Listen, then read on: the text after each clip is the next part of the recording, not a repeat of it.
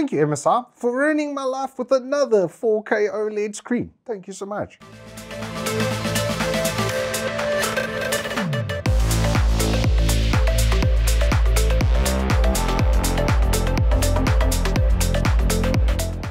Good afternoon and welcome to Turbo Tortoise Tech. If you're new here, I'm recently four-piece warranty Wookiee Triple XL.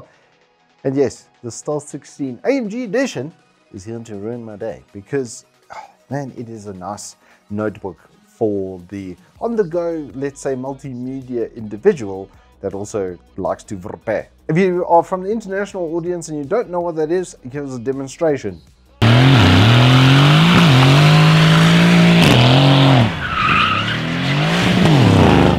We very much like cars in South Africa, and so this is right down our alley. They've made a complete AMG styled notebook with all the nice little racing touches, even in places you wouldn't expect in one of their nicer chassis, the Stealth 16, with this 4K 60 Hz OLED experience on top of it.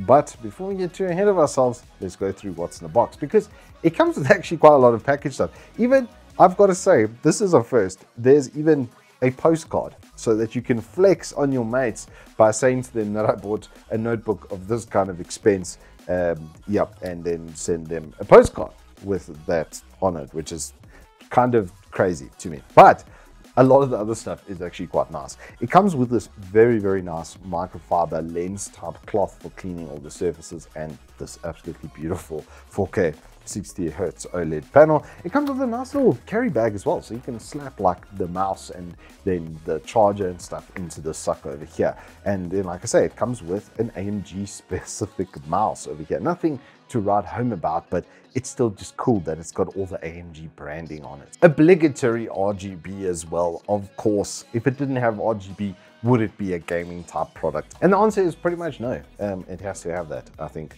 Uh, a nice little mouse pad as well with braided edges again with a super, super silky speed cloth over here. And then even like a spare uh, holder or a spare Velcro strap, which uh, you can see this has one and then the charger has one on itself. So this is a spare that was just there in the box. So if you've got other stuff that you need to strap down then it even comes with an extra one of those. But then we have the laptop itself and the Stealth 16 is finished in such a way that it could only be called premium.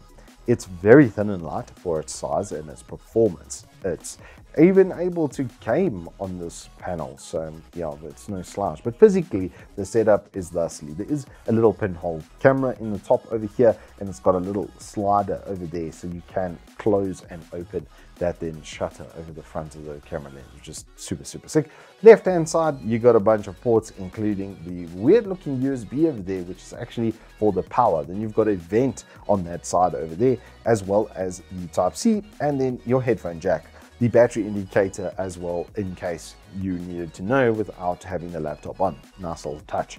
Then on the right hand side, you've got the RJ45 connection and HDMI an SD card reader, and then another Type C. So big focus on the Type C, which is a good thing with these laptops because then it lets you hook it up to docks and have other uh, extended monitors, etc. off of that. The keyboard and touchpad are incredibly nicely finished. It's one of these SteelSeries chiclet type styles with a nice little numpad on the far right for those of us who are doing Excel and those sort of punching in. So it's always nice to have that. I particularly like the power button. It's been replaced with a start engine button just to keep that automotive style going. The touchpad as well is enormous and absolutely fantastic. It's super accurate, multi-touch, all of the right things that I want to see. Then quite sleekly over here is actually the fingerprint reader on the far right over there. And it's almost like unseen like that. On the left hand side, you may have noticed there it says NVIDIA GeForce RTX Studio. That's because it's been set up like that to be kind of like a studio slash gaming laptop in between. And as I've alluded to with this 4K 60 OLED screen, it has some of the best color reproduction you're gonna find. And it's no slouch in the performance category because this comes with the 13900H from Intel as well as the RTX 4070 8 gig. And thanks to things like DLSS and frame generation, you're gonna get even 70, 60 or 70 FPS with settings maxed out in games like Cyberpunk. We also tested RDR2. Unfortunately, that doesn't go to the resolution over here, which was kind of weird. But even Metro, I managed to get like 50 FPS on the extreme settings with extreme ray tracing. And that sucker doesn't even have DLSS 3 and frame generation. But for newer titles, you're going to have that. And then you're probably going to look at 60 FPS gaming even with settings maxed out. So it can game even off of its native resolution. I was a little bit worried about that 8 gig video memory, but it turned out to not really be a problem. Then, like I said, the 13900H. That sucker can do things like, well, thump a first gen Threadripper now in a laptop space. So you've got a proverbial server on the go over here to enhance that media capability, they've put in one of the fastest Wi-Fi cards we've ever tested. It actually tested faster than anything else I've run so far. Uh, on the continuous transfer test, as well as the speed test, it pretty much maxed out my LAN. So it's doing its job there absolutely fantastically. And if that wasn't good enough, then it does have a gigabit Ethernet port as well. The storage is also extremely fast. It got very, very good rating over there. So your boot times, what boot times? There's no such thing on a laptop like this. You turn it on and there's not even time to put the coffee in your cup, never mind pour it.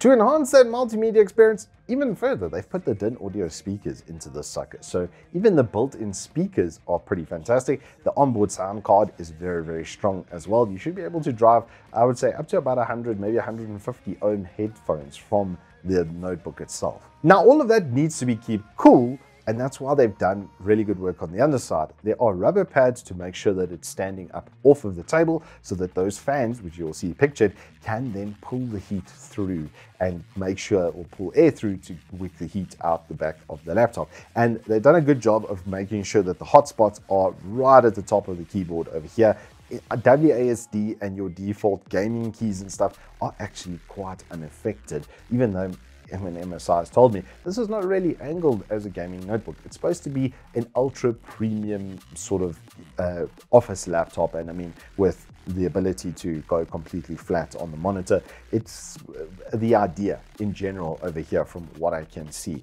The MSI Center software is also incredibly well done on this variant. It has a full hard mux switch so you can turn on it just the discrete GPU or just the iGPU or leave it in the auto mode. If you leave it in the auto mode, you get pretty much the obviously the best of both worlds. It's the same with the AI setting. It does once again, however, in case you need it, have the quick cooler boost. This is something I love about these laptops.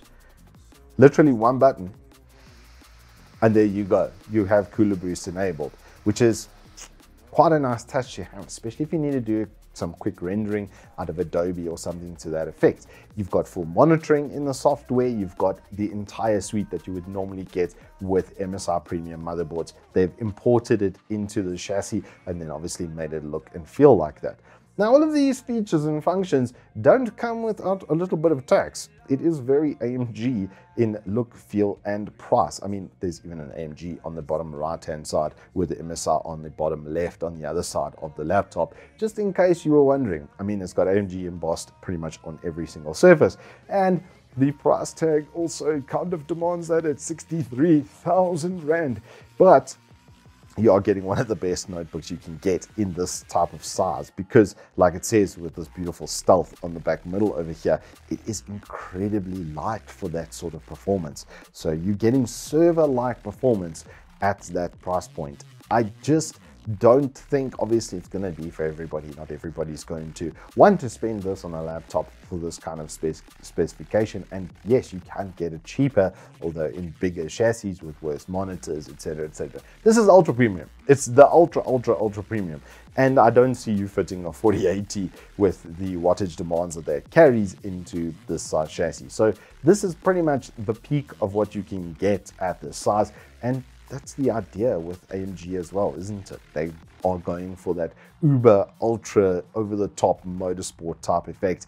And it can make use of that power. The fact that I can get in the upper ranges of what you would normally see with notebooks like this in Fire Strike, it was on the upper end for this type of specification. So even though it's put into one of the smaller chassis with a specification, the performance really speaks for itself. You're buying it for that, that convenience and that performance on the go and for the 4K screen.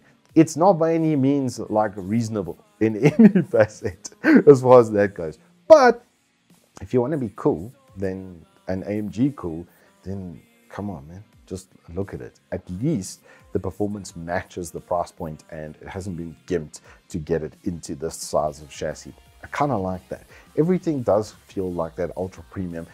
It, it, it will thump a Mac, especially with this monitor. The monitor is, it's kind of life like running in a way because it's 16 by 10 on 4K as well. So yeah, it's uh, got a little bit of extra pixels because it's slightly longer than the six, obviously the 16 by 9 ratio. So yeah, it's going to be slightly taller as well. It's just, you know, it's a little bit overkill on 62, 63,000 Rand. And if you noticed on the bottom though, it does have only four screws to take off that. So it, up, easy upgrading and stuff is implied.